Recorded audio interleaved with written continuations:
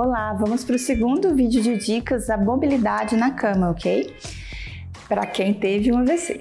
Então, para quem não me conhece, meu nome é Ludmila Toni, sou fisioterapeuta, já atuo na reabilitação de pessoas que tiveram AVC já há mais de 18 anos. Tenho uma página no Instagram, Ludtone Físio, e um canal no YouTube falando de AVC para você. Nessas duas vídeos de comunicação eu trago conteúdo sobre AVC dos mais diversos possíveis todos os dias.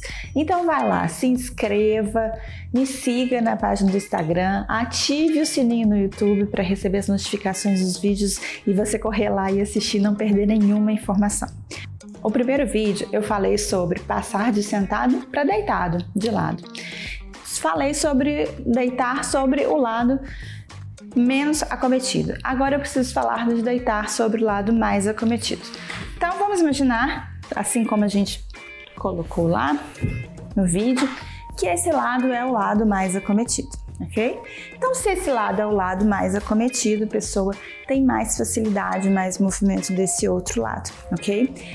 Agora, a perna de baixo é a perna do lado mais acometido, então não tem como você levantar a perna de cima com a perna de baixo. Então, o que, que você vai fazer? Vou chegar aqui um pouquinho mais para trás só para vocês verem. Imagina que estão as duas pernas pendentes para o lado de fora da cama.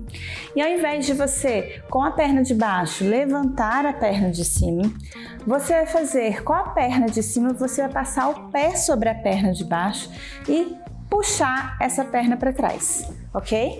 Então, ó, já fui apoiando aqui com a mão Deitei. Agora o meu lado mais acometido é o lado de baixo, então eu não vou conseguir levantar com a perna de baixo.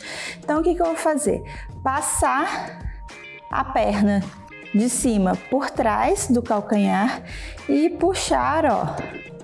O pé vai um pouquinho na frente lá do tornozelo e puxar a perna para trás ok? Você pode utilizar um lençol também amarrado sobre essa perna para auxiliar, para ajudar, não tem problema nenhum. Da mesma forma, quem realmente não tem, né, o lado menos acometido com tanta facilidade assim, de movimento e precisar de ajuda de outra pessoa, vai também ser ajudado nesse mesmo sentido, tá? Lembre-se sempre que você precisa de um apoio que o travesseiro não deixe a cabeça cair muito nem ficar muito elevada. Isso é importante para um bom equilíbrio, ok? Espero ter te ajudado. Mas antes, comente aí, comente o que você achou, comente quem você é, qual o tempo você tem de AVC, qual o seu tipo de AVC Quais são as suas maiores dificuldades e limitações? É muito importante eu saber com quem que eu estou falando, quem está me assistindo, para eu trazer conteúdo cada vez mais específico para quem? Para você, você que me escuta, ok? Então, se gostou, se te ajudou, talvez possa ajudar outra pessoa também. Então compartilhe esse vídeo, porque é sempre muito importante que chegue a cada vez mais pessoas, porque eu estou sempre aqui todos os dias falando de AVC para você. Até a próxima!